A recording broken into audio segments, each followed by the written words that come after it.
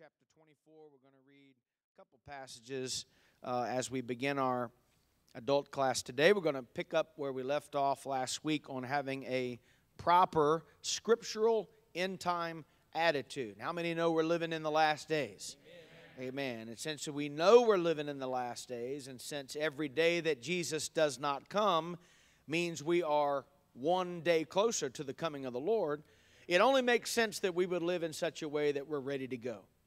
Every day, literally every day, you should get up and say, Jesus might come today. Amen. And I want to be ready to meet the Lord today. Amen. This is not something like counting down the days to your vacation. You know, some of you have uh, things on your phone. You get up and say, oh, 87 days till we leave for vacation. That's not what the rapture is. The rapture, that, that clock is down to zero. You should get up and say, Time ran out a long time ago. Today might be the day. And I want to live in such a way that if the trumpet sounds, I'm ready to meet the Lord. Matthew 24 and 1. Jesus went out, he departed from the temple. His disciples came to him for to show him the buildings of the temple. Jesus said unto them, See ye not all these things? So he's probably waving his arm and waving his hand at all the structures that encompassed the temple. And he says, Verily I say unto you, there shall not be left one stone here upon another that shall not be thrown down. As Jesus sat upon the Mount of Olives, the disciples came unto him privately, saying, Tell us, when shall these things be, and what shall be the sign of thy coming and of the end of the world? So there's three questions embedded there. When are these things going to happen that you're talking about, the destruction of the temple? What is the sign of thy coming? What is the sign of the end of the world? Three questions. So, verse 4, Jesus begins to answer Take heed, no man deceive you. Many shall come in my name, saying, I am Christ. They shall deceive many. Ye shall hear of wars and rumors of wars. If you think we're there all right, say amen. amen. See that you be not troubled. All these things must come to pass. The end is not yet. Nation shall rise against nation. If you think we're there already, say amen kingdom against kingdom. If you believe we're there, say amen. There shall be famines and pestilences and earthquakes in divers places. If you think we're there, say amen. amen. Verse 80 says, All these are the beginnings of sorrows. Yeah. So he said, This is just the beginning of the end time. Now, let's go to Luke 21, verses 8 and 9. Luke chapter 21, verses 8 and 9. We're going to read two verses Luke chapter 21, verses 8 and 9. Jesus said, Take heed that ye be not deceived. So, this is Luke's take on what Jesus talked about in the book of Matthew. Remember, Matthew, Mark, Luke, and John are the synoptic gospels. Every one of them recorded similar stories, but they wrote it in their own vernacular. So he says, Take heed that ye be not deceived. Many shall come in my name, saying, I am Christ, and the time draweth near. Go ye not therefore after them. But when ye shall hear of wars and commotions. So maybe not a war, but it's a commotion. It's something that everybody's kind of holding their breath saying, Man, I hope this doesn't escalate. It's a commotion. If you think we're there already, say amen. amen. Be not terrified, for these things must first come to pass, but the end is not by and by. Now, we started this uh, on June 25th the Sunday after Father's Day, and we've been going through this slowly and very carefully, talking about having the proper end time attitude. We took some time and broke down what Jesus meant in Matthew 24 6 when he said, Be not troubled, and what that means. Last week, we started with four end time doctrines that you should all be aware of are floating around here in the last days. The first one is erroneous, and it is the doctrine that Jesus has already returned. I will tell you that's a lie from the pits of hell.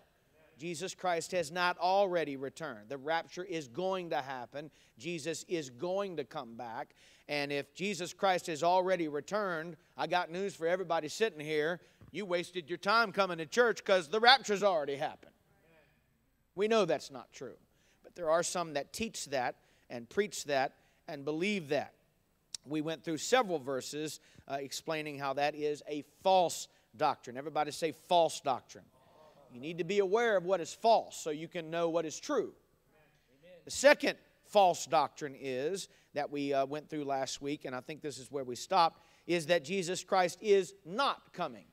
And in 2 Peter chapter 3, verses 3 through 8, let's go back there and look at it again. 2 Peter chapter 3, verses 3 through 8. Peter prophesied that in the last days there would actually be people that would be walking around saying this Jesus is not coming. You know, hell is just an allegory. Heaven is just an allegory. The rapture is just figurative speech. And, and that's not really what Jesus meant. Who are these people that try to explain what Jesus really meant? I think God, manifest in the flesh, has a pretty good enough vocabulary. He can say what he means and mean what he says. He knows how to string a sentence together. If he says hell is a bad place, you don't want to go there, that's what he means. It's not a parable, it's not a fable, it's not an allegory. He literally means you don't want to go to hell. If he says heaven's a beautiful place and you do, it's not a fable, it's not an allegory, it's not a parable, it's not a deep, dark secret with weird meanings. It literally means heaven is a great place and you do want to go. He means what he says, and he says what he means. Look at your neighbor and say, that makes sense. That makes sense. Let's go to 2 Peter chapter 3, verse 3. 2 Peter chapter 3 verse 3 knowing this first that there shall come in the last days scoffers let's all say scoffers, scoffers walking after their own lusts. So, uh, first of all, I don't want to listen to anybody that's not walking after the Holy Ghost. I want to listen to preachers that are walking after the Holy Ghost. I don't want to listen to anybody that's walking after their own lusts. And that's what Peter says they're going to be doing. Verse 4, here's what they're saying Where is the promise of his coming? Since the fathers fell asleep, all things continue as they were from the beginning of the creation. So basically, what these people are saying is, yeah, yeah, yeah, we've been hearing preachers talk about the rapture for thousands of years. It hasn't happened yet. That's what they're saying. There are people that are saying that in our world today. Verse 5, here's what Peter said about them For this they willingly are ignorant of, that by the word of God the heavens were of old, the earth standing out of the water, in the water, whereby the world that then was, being overflowed with water, perished. Hey, you think he's talking about the flood here? Yeah, he's talking about the flood. Matter of fact, he goes on to talk about uh, the flood. Uh, Peter, in his writings, uh, several times he refers to the flood. What did Jesus say? As it was in the days of Lot, so shall it be in the days of the coming of the Son of Man. As it was in the days of Noah, so shall it be in the days of the coming of the Son of Man. So it is proper to draw a connection between just like it happened in Noah's day, it's going to happen in our day. But these idiots are drawing a connection and saying, well, it hasn't happened for all these thousands of years, therefore it's not going to. They're using the same story Jesus used to try to prove that it's not going to happen. And Jesus says, no, no. Noah preached, the people ignored him, the door shut, it started to rain, people died. That's the takeaway from the story. The takeaway is not, well, it hasn't happened in such a long time, it's not going to happen again. That's just dumb. Amen, folks. We got to get our head out of the sand and realize just because somebody's on the radio or on the TV with the collar turned back around doesn't mean that they're speaking in the Holy Ghost. Amen. I don't want to hear what people say in their own lust. I want to hear what people say in the Holy Ghost. Amen. Praise God. So let's make sure that they're walking in the Holy Ghost. Praise God. Verse 7 The heavens and the earth, which are now by the same word, are kept in store, reserved unto fire against the day of judgment and perdition of ungodly men. But, beloved, be not ignorant of this one thing one day is with the Lord as a thousand years, and a thousand years as one day. So, just because Christ hasn't come, or didn't come when some Yahoo said he was going to come doesn't mean Jesus Christ is not coming. I'm 51 years old. I'm old enough to remember a couple times back in the 80s where some self promoting preacher said, I figured it out. There's a secret mathematical algorithm in the scripture. Jesus is coming on September the 14th of 1987. And the whole world said, Oh my God, we better get ready. And churches were filled that Sunday before Jesus was supposed to come. Guess what? He didn't come. And the guy went on national radio and said, I missed a calculation. I found the error. I was off by a year. I've now deduced that he's coming next year on the same day. And he put out another book and sold millions of copies of the second book. And guess what? Jesus didn't come. You say, Pastor, what does that mean? It means this Jesus said, No man knows the day nor the hour when the Son of Man is coming. I can promise you one thing. If somebody says definitively, Jesus is coming on this day, you can take it to the bank. Jesus ain't coming that day because no man knows the day nor the hour. That's why we have to live in such a way that he may come anytime. So the first false doctrine is Jesus has already returned. Wrong. Second false doctrine, Jesus Christ is not coming back. Wrong. Third false doctrine, is that Jesus Christ is coming, but he's delaying he's coming. He's just going to keep pushing it off. And this crowd, and I believe it is a satanic spirit, will attack your heart and your mind for the purpose of causing you to slacken up a little bit not pray as much, not fast as much, not come to church because you think, well, I, have got some time. I've got some time. It's going to be 20, 30 more years before Jesus. He's coming. He's coming. But we've got some time here. We can kind of sow our wild oats. He's coming, and we're going to be ready to meet him, but just not today. That's an attack of the enemy. Yeah. Amen. Because if Satan can cause you to miss the rapture, he doesn't care how he causes you, he just wants to cause you to miss the rapture. We are not ignorant of his devices. They'll say Jesus is coming, but not right now. And these, I believe, are words of satanic origin. Beware of such thoughts, whatever day you live in. Let's go to Matthew 24 and 48. Matthew 24 and 48. Amen. Going back to our uh, where we were earlier, and let's pick back up in some of the later words of Jesus. Matthew 24, 48, and we'll read down through verse 51. But and if that evil servant shall say in his heart, My Lord delayeth his coming. So, ha, ha, right there, Jesus talked about this, didn't yeah. he? He said there were going to be, he told a parable and talked about a servant that said, Oh, my Lord delays his coming. He's not coming back. So, this is right in line with what we're talking about. Verse number 49 He shall begin to smite his fellow servants and eat and drink with the drunken. The Lord of that servant shall come in a day when he looketh not for him, and in an hour that he is not aware of, and shall cut him asunder and appoint him his portion with the hypocrites. There shall be weeping and gnashing of teeth. Weeping and gnashing of teeth. What do you think Jesus is talking about? Talking about hell. So the takeaway is you might be a Holy Ghost filled, one God, baptized in Jesus' name, Pentecostal, bringing your Bible to church, paying your tithes, faithful, but you just think, ah, it's, it's, it's going to be a while. I'm going to go out here and just have this little private sin. Jesus already told you what's going to happen. Right. You better be careful. Because when the rapture takes place, if you're not ready, you'll be cast out accounted with the hypocrites in a place where there's weeping and gnashing of teeth. And in case you're not sure of what Jesus is talking about, the entire chapter of chapter 24 is Jesus in red letters talking about the end time. Matter of fact, we picked up in the first part of Matthew 24, where his disciples said, What shall be the sign of thy coming and of the end of the world? It is fitting that the very last verse of that chapter, Jesus sternly talks about saints that think he's going to delay his coming. Not that the world's not going to be ready, but that people in the church are going to think he's delaying his coming.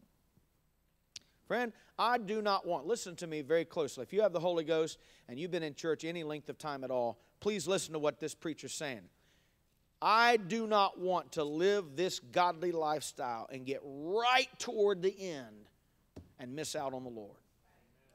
You talk about a wasted life. You talk about a missed opportunity to live this lifestyle and live for God and serve God and taste of heavenly things and hear the finest teaching, preaching, music in the entire world as, as a part of our great organization, the United Pentecostal Church, and to have evangelists come through and preach it and missionaries come through and share what's going on and get right on the cusp of the coming of the Lord and start playing games. You talk about a messed up decision. Everybody in here needs to sit up and pay attention and say, I want to be ready to meet God. Let's go to Luke 12, 35. Luke chapter 12, verse 35. Jesus said, Let your loins be girded about and your lights burning. Be ye yourselves like unto men that wait for their Lord, when he will return from the wedding, that when he cometh and knocketh, they may open unto him immediately. Everybody say immediately. immediately. Blessed are those servants whom the Lord, when he cometh, shall find watching. Verily I say unto you that he shall gird himself and make them sit down to meat, will come forth and serve them. And if he shall come in the second watch or come in the third watch and find them so, blessed are those servants. Let's stop right there. What's the second watch? Second watch is 9 p.m. to midnight. Did you catch that? What's the third watch? The third watch is midnight to 3 a.m. I think Jesus is throwing us a little hint here, and he's saying, I might just come while you're sleeping. It, you say, well, Jesus told the parable of two shall be grinding at the mill, one taking the other left. That's right. Somewhere around the world it's daylight, while on the other side it's nighttime. Amen. There may be two people working in a mill over in Asia while you're sawing logs in your nice, comfortable bed. Both of those scriptures are right. Let's, let's, let's not get into this myopic interpretation of the scripture that everything revolves around our little universe. Well, it's going to be daylight when Jesus comes because he said, Two shall be grinding at the mill. It's going to be daylight somewhere, but you live here. He also said it might be in the second watch, it might be in the third watch. What do I do about that, Pastor? I can't stay awake all the time. No, you just go to bed at night, and the last thing you do is ask God to clean your heart out Forgive me of my sins, Lord. I don't want to go to sleep with anything in my life that shouldn't be there. This is, of course, if you've repented and you've been baptized and you've been filled with the Holy Ghost already. Now, if you hadn't done those things, you need to get baptized today.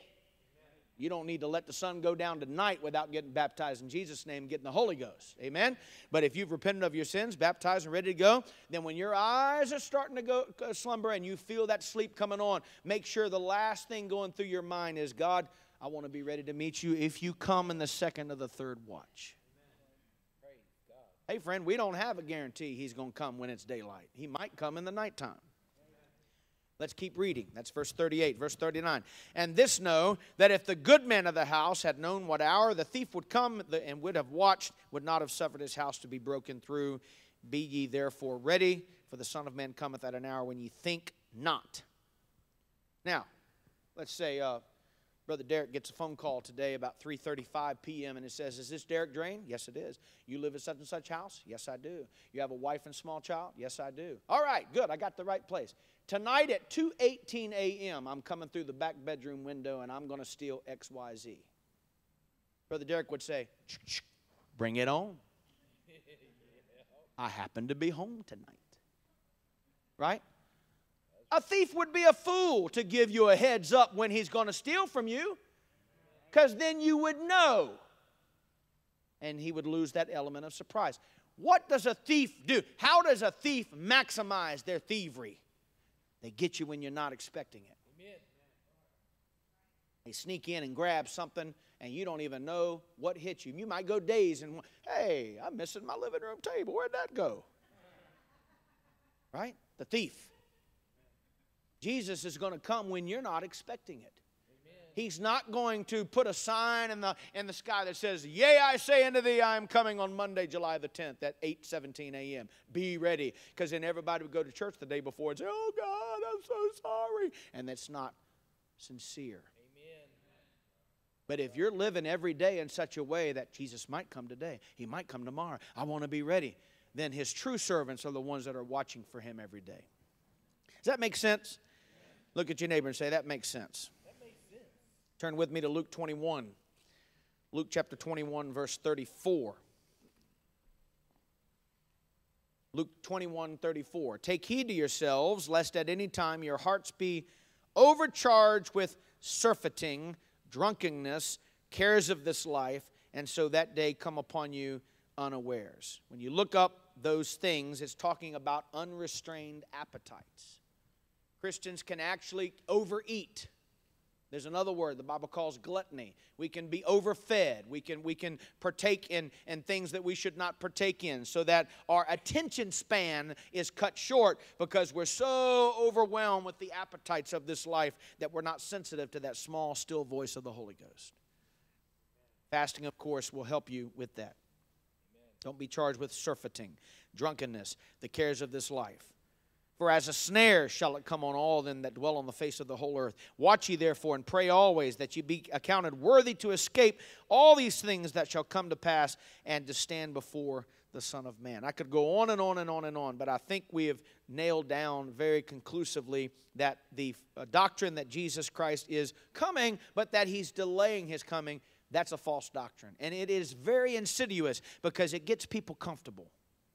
See, with that doctrine, the devil doesn't care if you come to church. He doesn't care if you pray. He doesn't care if you support the work of God financially. He doesn't care if you're involved. He just wants you to slack up a little bit and say, oh, yeah, he's coming, but he's not coming for a while. And he accomplishes the same goal. Out of the four end time doctrines, this last one is the one that is correct. And that is that Jesus is, in fact, coming. Everybody say he's coming.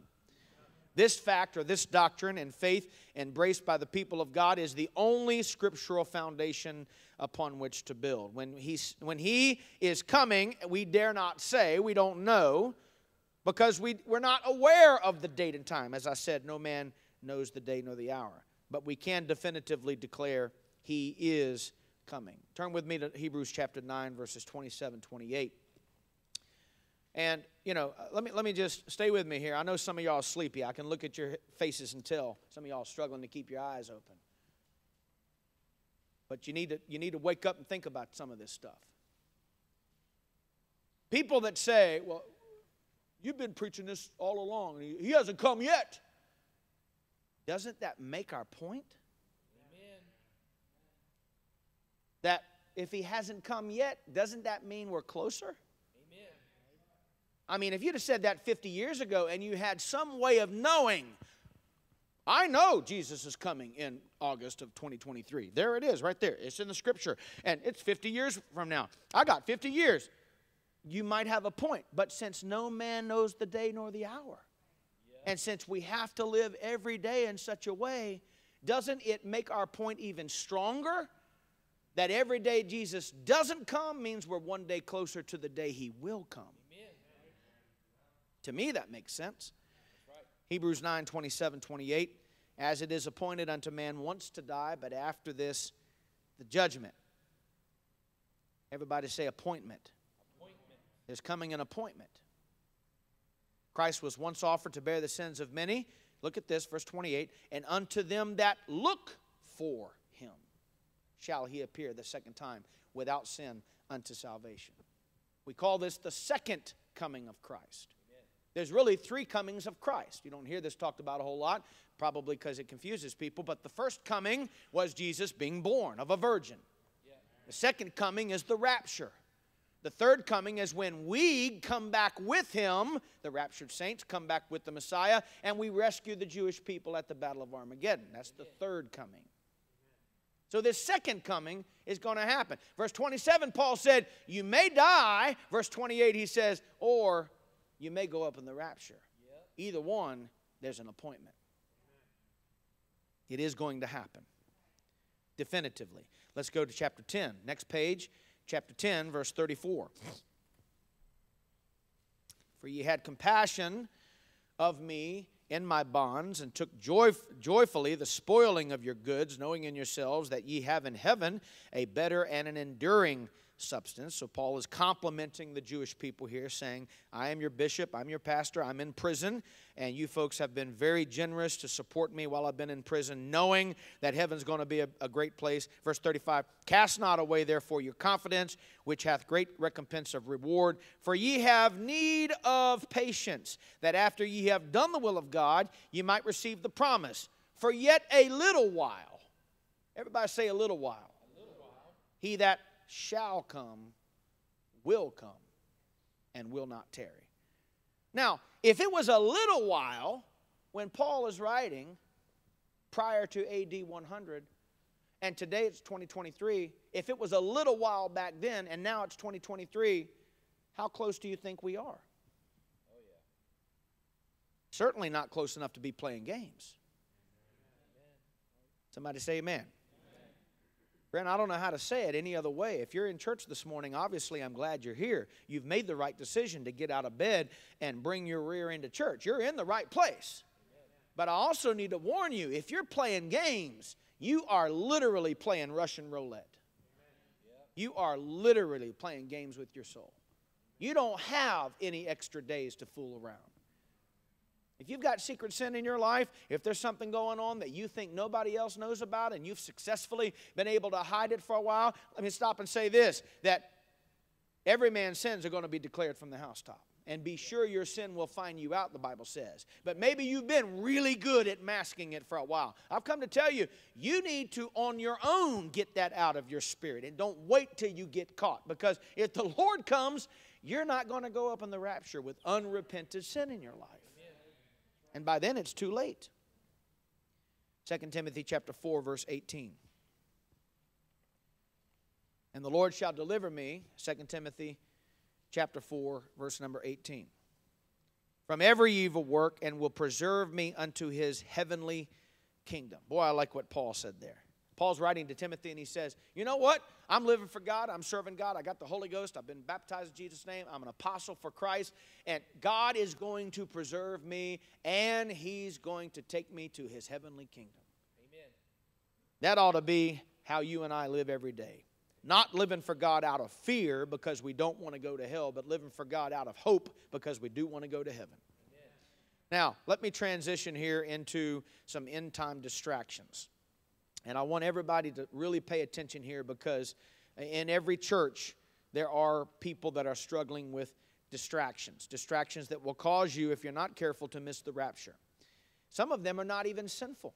Some of them are legitimate things, like your job. You have to work, you have to support your family. But if you don't keep a right balance in life, that could be a distraction to you family members. It's not wrong to love family, but sometimes I've seen people lose balance and they love family and they spend more time with family than they do in their personal walk with God. That's a distraction to you. Say, well, I can't take them out of my. No, no, no. Don't take them out of your life. Just learn how to have a proper balance and put God first. Amen. Amen. So the Bible lets us know that there will be false doctrines relative to Christ coming. We've gone over those false doctrines. There are three of them, the one true doctrine being Jesus Christ is coming. Then there will also be distractions.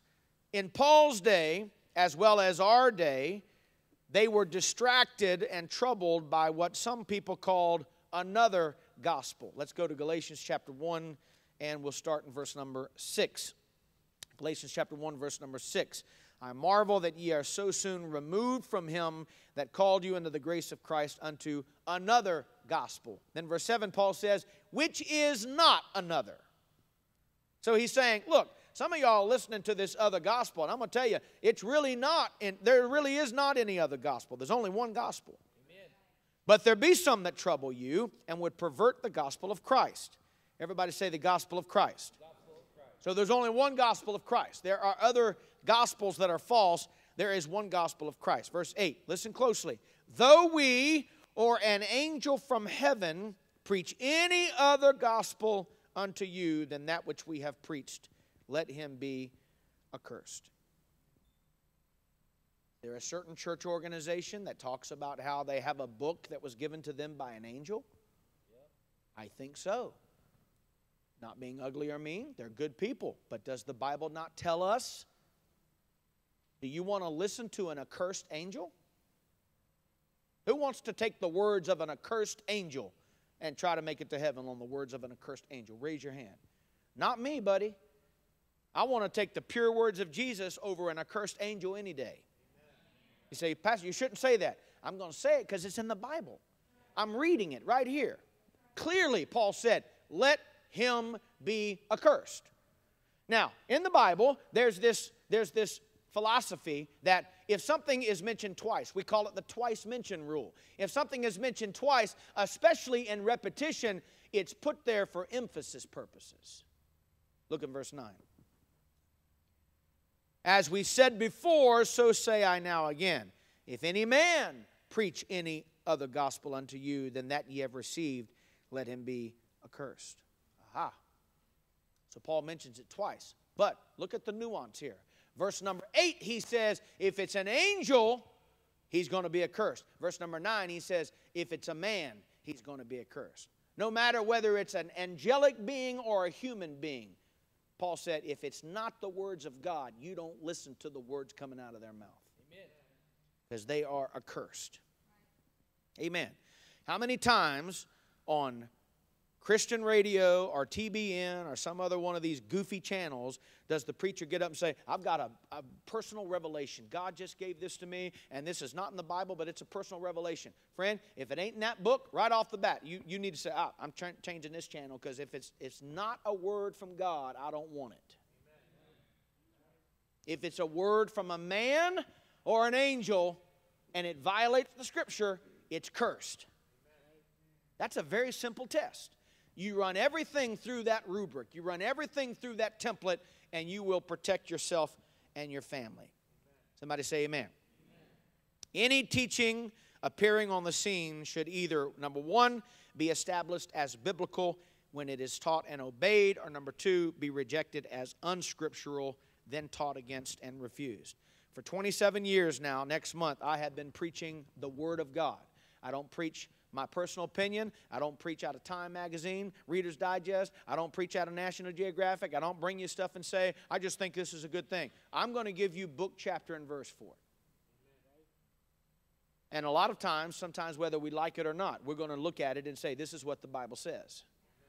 Now, what you and I have to do is get our flesh under subjection and say, okay, I really don't like that. I don't like the way it feels. I don't like the way it sounds. But that I'm reading it. He's right. It's in the Bible. And we're going to have to obey it. Somebody say amen. amen. You can go other places where maybe you can hear something a little softer preached. Not that we're harsh or mean, we're not. But you can go other places where you're not going to hear certain things preached at all. Well, I'm just going to go over here because, oh, okay, all right. When the trumpet sounds, let's see who goes. What do you mean, Pastor? I mean, what I mean is you got one shot at it. Why take a risk? That's what I mean. That's right. So you think about your actions and you think about if you want to go to the first soft, soap church, soft soap church over here on the corner where sin is never preached against, People never get baptized in Jesus' name. There's no holiness ever taught. There's no repentance. Nobody's in the altar praying and crying. The preacher never talks about the oneness of God. It's just warm, fuzzy. We're just a big family. Kumbaya. Let's all shake hands and love each other, and we're going to heaven. You want to roll the die and take a risk with your soul? You go right ahead. I want to be in a church where the truth is preached. Amen. It might ruffle my feathers a little bit, but at the end of the day, if it's done in love, I know it's the truth. It might step on my toes a little bit, but at the end of the day, if it's done in love, I know it's the truth. I want to go to heaven. I don't know why you're here today, but I want to go to heaven. That's, that's why I am in church. I want to go to heaven. Somebody say amen. amen. Acts 15 24. Let's go there. Let me give you an example here. There was a dilemma in the church over an unsettled question. And they settled the matter quickly so the body of Christ would not be troubled. This was the issue of circumcision. For as much as we have heard that certain which went out from us have troubled you with words, subverting your souls, saying, Ye must be circumcised and keep the law, to whom we gave no such commandment. Let me just uh, uh quickly tell you uh, the old school Jewish people that had got the Holy Ghost, got baptized in Jesus' name, were now in the truth, and they had incorporated the Old Testament doctrine of circumcision into the New Testament church. Now we had Gentiles coming in the church, getting baptized, getting the Holy Ghost, and the old school Jews were telling the new Gentiles, You got to be circumcised or you're not going to heaven. And it was causing a problem in the church. The apostles got together and said, What are we going to do about this? We know now we're under another dispensation. The Jews are right that up to a certain point circumcision was important, but now in the New Testament, it's circumcision of the heart, not of the flesh. So the apostles had to settle that issue. There are some issues that you might not have book, chapter, and verse for, but the pulpit has got to settle it as scripturally as possible Amen. so that there's peace and harmony in the church. Amen. So there are many things that we take a biblical stand on because we have book, chapter, and verse for it. There are some things that we don't have book, chapter, and verse for, verse for it, but we have a principle. And we preach the principle. Can I give you an example? Nowhere in the Bible does it say, Thou shalt not snort cocaine. But the Bible does say, Your body is a temple of the Holy Ghost. Nowhere in the Bible does it say, Thou shalt not drink Johnnie Walker. But it does say to avoid strong drink because it's a mocker. So we have a principle, we can extrapolate from that principle down into the subtleties of that principle, and the whole goal is to keep people clean and pure and on their way to heaven. Somebody say amen. amen. Now, some think a forged letter had been sent to Thessalonica under the guise of being from Paul. I'm going to go to Second Thessalonians chapter 2 verse 1 if such a letter did indeed exist, and apparently some type of spirit or rumor or letter had affected the Thessalonica church. Turn with me to 2 Thessalonians 2. Let's go over this very unique circumstance here that uh, the Apostle Paul was having to deal with with this new convert church in the town of Thessalonica. 2 Thessalonians chapter 2 and verse number 1. Now we beseech you, brethren, by the coming of our Lord Jesus Christ, by your gathering together unto him, that ye be not soon shaken in mind, or be troubled, neither by spirit, nor by word, nor by letter, as from us, as that the day of Christ is at hand. Let no man deceive you by any means, for that day shall not come, except there come a falling away first, that man of sin be revealed, the son of perdition, who opposeth and exalteth himself above all that is called God or that is worshipped, so that he as God sitteth in the temple of God, showing himself that he is God. Paul's talking about the Antichrist here. Remember ye not that when I was with you I told you these things, and now ye know that what withholdeth that he might be revealed in his time. The mystery of iniquity doth already work, only he who now letteth will let until he be taken out of the way. And then shall that wicked be revealed, whom the Lord shall consume with the spirit of his mouth and shall destroy with the brightness of his coming even him whose coming is after the working of Satan with all power and signs and lying wonders, and with all deceivableness of unrighteousness in them that perish, because they receive not the love of the truth, that they might be saved. And for this cause, God shall send them strong delusion that they should believe a lie. Let me tell you something. I'm not done reading, but in the last days, there's going to be a strong delusion that's going to be unleashed on the earth. And people that don't love the truth, as Paul is saying, are going to fall into delusion. You better make sure you know this truth like the back of your hand. You better know it front and back. You better be able to explain it. You better be able to talk about it. You better be, and I, and I know some of our new converts are brand new. I'm not saying that you got to be able to say it, explain it at the same level as somebody else, but you have to love the truth. You have to love the truth to the point that you say, There's nothing else going to get my attention. Because in the last days there will be a strong delusion. Verse 12 that they all might be damned who believe not the truth, but had pleasure in unrighteousness. We got a lot of Pentecostals today that will stand up and look at you in the eye and say they don't love the world, but they sure know all the words to the songs. They sure know all the names of these people that are perverted and filthy and half dressed. That's right. You know, you can tell a lot about people just by listening to what they talk about. Amen. And what they hum to, and what they sing to, and what they laugh at. You better watch out having pleasure in unrighteousness. Amen. Lord said there's coming a strong delusion. And if you don't love truth, but you have pleasure in unrighteousness, you're going to be ripe for that delusion. So, what was going on here? Paul, there obviously was some sort of a forged letter that came to the church in Thessalonica, and they thought it was Paul. And Paul had to rest, he had to lay to rest this disconcerting matter. Paul established the fact that before the day of Christ, before it can happen, certain events which he clearly outlines must transpire. Now, folks, if that was the case 2,000 years ago, how much closer do you think we are right now? Amen. Think about that for a moment. Our day is rife with those who discover the beast in every popular world leader. People that set Christ's return date. They scare people with the Middle East, every development in the Middle East. They interpret treaties as ultimate final signs. They make computers the beast. They use 666 in every way. I mean, I've been in church all my life. I've seen preachers come through and say, Look at this barcode. There's three long lines on the barcode. That one is six, that one is six, that one is six. Every time you buy groceries, you're taking the mark of the beast. Give me a break. That's about the stupidest thing I've ever heard in my life. Okay? That's not the mark of the beast. It might be one little piece of the total one world system that is coming, probably. But that in itself, the barcode in itself, is not the mark of the beast. Somebody say amen. But there are people, they want to take the alignment of the planets and they jiggle dates and numbers and Bible verses to fit their whims and predictions and on and on and on and on. And, and, and be, be wary of people that every time something happens, they use that to predict. Oh, there, there, that's a major Bible prophecy. There are some major Bible prophecies happening, but there are some things that are just life that just happen as a totality of the circumstances. Somebody say amen. amen. Jesus doesn't want us to live in absolute fear all the time.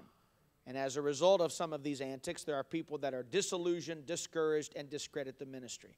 I have seen young preachers who have fallen into this trap of not learning the core doctrine, the oneness of God, Jesus' name baptism, holiness, why we believe what we believe but they like to get way over here in left field and try to be the expert in all end time events. You better be careful.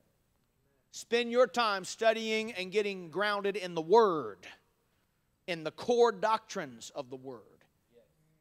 And let the end time preachers do what the end time preachers do. Those that are older and have a better understanding of prophecy and labor in that area, let them do that and learn from them. But don't take away from your study of the core doctrine. If you can't give me 16 verses right now in Jesus' name baptism, don't try to tell me that that's the second seal being opened. I don't want to hear it because you don't know what you're talking about.